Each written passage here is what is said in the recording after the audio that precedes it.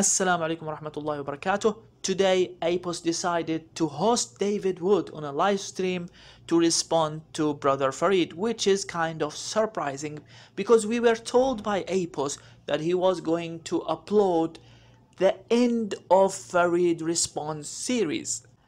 And Apos actually did upload two videos in response to Brother Farid.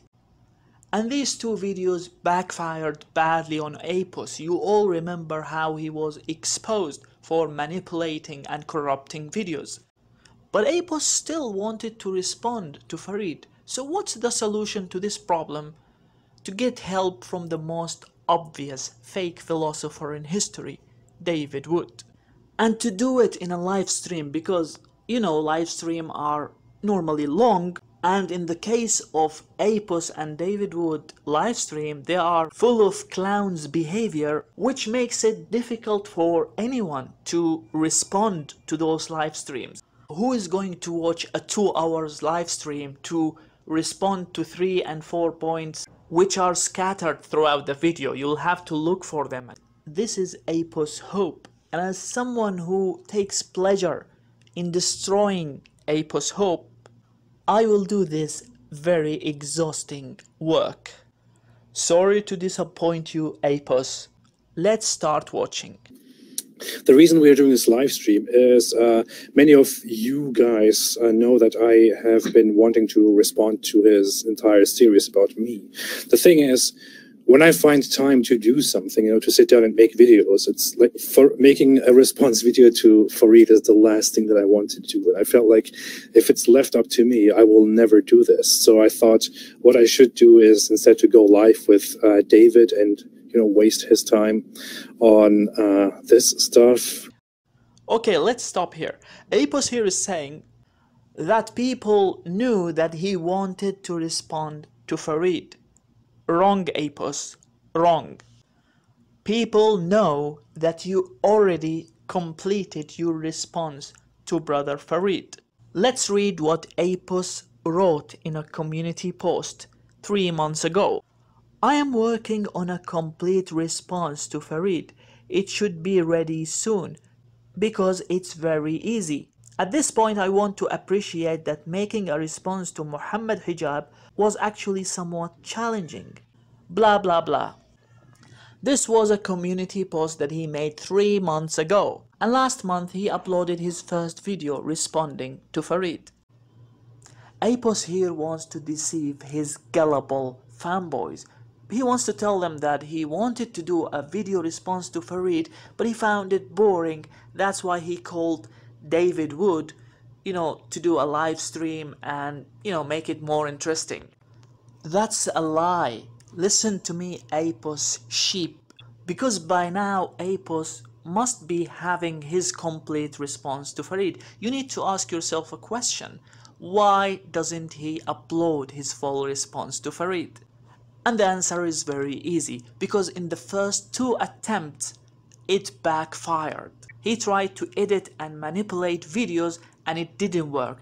And it seems like the rest of his response to Farid are no difference at all. Most of them will be filled with these kind of deceptive tactics.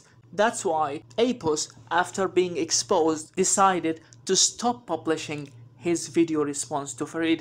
And that's why we have come together today to respond to two videos that were um, made by Farid Responds in response to my older videos. We want to go through them and want to refute them. And I think this is actually a very nice um, uh, way to do things. Just do like Apostate Prophet and David Wood respond. And yeah, absolutely. It's a great idea. It's a great idea to do a live stream with David Wood and to spend like, you know, 75% of the live stream making no arguments at all, just behaving like a literal clown. Now let's go and listen to the most obvious fake philosopher in history. Yeah, my, my, my, my personal view is you you ignore people. You ignore people, especially people you know that you if you know you can crush someone anytime at will, then you ignore them until they increase their popularity. You know what I mean? You you ignore them until they they increase their their popularity. So Fareed's not terribly uh terribly popular. So if it were me, I'd probably let him get up to you know a hundred thousand. But he's got over fifty thousand.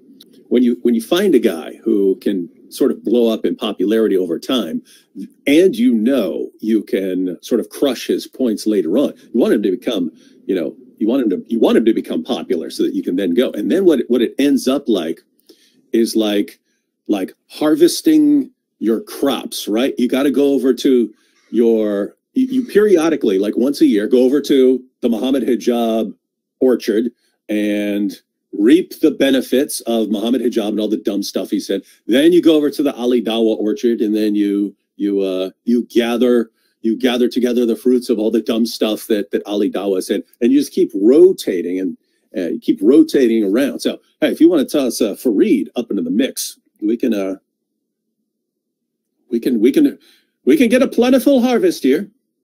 MashaAllah, MashaAllah. So David Wood ignores people because he knows he can crush them anytime he wants. So he's waiting for them to become popular. And that's why he ignored Brother Fareed all this time. Well, let me make it, you know, clear. Uh, David Wood did not ignore Brother Fareed all the time. He did respond when he could respond. For example, when Brother Fareed made a tweet about the hate speech, it was just a tweet, it wasn't a video, and yet David Wood made a video response to that simple tweet. He made a whole video responding to a tweet by Fareed because he felt that he could respond to him. Also, David Wood challenged Fareed to a debate about Christianity because he knew that Fareed was not knowledgeable on this kind of topics. David would ignore Fareed, but not because he knew he could crush him anytime he wanted. In fact, he ignored him because he knew that he would be crushed by Farid anytime he dares to respond. Also, this idea that David Wood ignores people until they become popular is nonsense. David Wood responded to Brother Full Metal Theist. He made like three hours live stream with Sam Shamoun to respond to Brother Full Metal Theist who had 6,000 subscribers at that time. Also, recently, David Wood had a debate with a Muslim called the Perfect Dawa who had 400 subscribers. 400 su subscribers, and he had a formal debate with the guy. But he won't respond to Farid, he would wait for Farid to become more popular. So to the brainless, gullible fanboys of David Wood who believed him when he said that he would wait for people to get more, more popular, this is nonsense. David Wood would ignore people whom he cannot respond to even if they had million subscribers. And David would respond to people he could respond to even if they had 400 subscribers. And that's all for today's video. We will continue refuting this boring live stream of these two clowns inshallah in the coming few days. Jazakumullah khairan for watching. Wassalamu alaikum wa rahmatullahi wa barakatuh.